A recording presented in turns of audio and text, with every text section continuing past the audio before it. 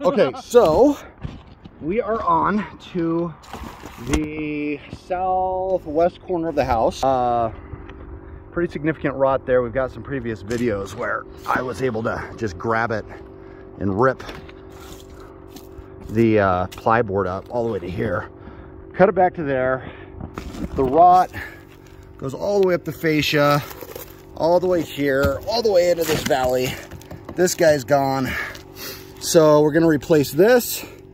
We're going to, rod ends about there. So I'm gonna have to take it about there. Um, so we'll cut it all the way across and then we got to cut and uh, re-sister those those two in. Yeah, this is going to be another eight hour project to do this right. Uh, la la la. Okay. Um, all right. Well, I'll send you some pictures as we go because this is obviously got to go and be done right.